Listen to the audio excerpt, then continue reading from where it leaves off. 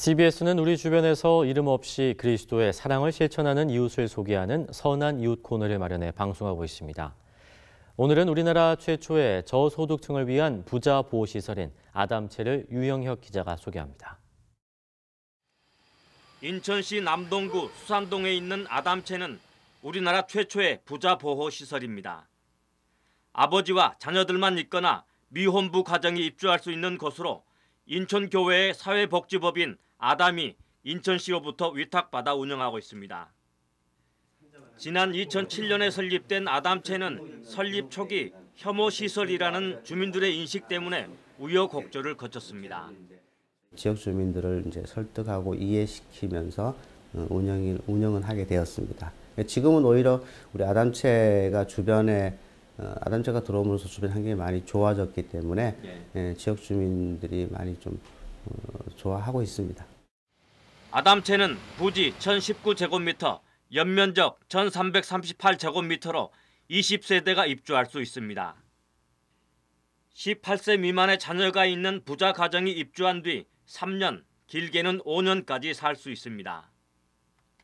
시설 사용과 전기세, 수도세 등 공공요금이 무료인데다 삼시 세끼를 제공하는 식당을 갖추고 있어서 입주 가정의 만족도가 높습니다. 아이들 돌보는 문제 때문에 좀더 도움을 좀 받, 받지 않으면 안 되겠더라고요. 입사하기 전에는 아이들 먹는 문제가 가장 힘들었거든요.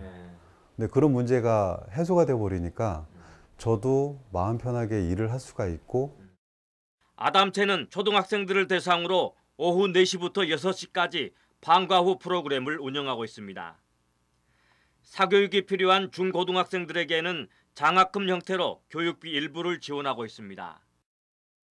자녀들의 심리적인 안정을 위해 치료센터와 연계하고 전문가들을 통해 인생 상담과 진로 상담을 해주고 있습니다. 성교와 복지 차원에서 예, 사회적으로 좀 소외된 분들에 대해서 희망을 주고 또 그들에게 가장 중요한 것은 어, 이- 그들의 마음의 영혼 가운데 예수님을 영접하기 위한 예, 그런 어, 전략으로 사실 운영을 시작을 했는데 그들이 누릴 수 있는 어, 자, 진정한 심리적 경제적 자립을 할 수 있도록 설립 초기 혐오 시설이라는 지역 주민들의 인식에다 입주자 가족들의 정서적인 불편함도 있었지만 지금은 너무 편한 집이 됐습니다.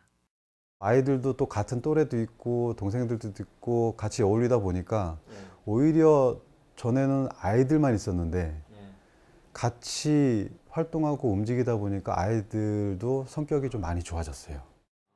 아담체 입주 과정의 성실한 가장들은 3년에서 5년 동안의 입주 기간에 상당한 경제력을 갖춰 자립해 나가고 있습니다. CBS 뉴스 유영혁입니다.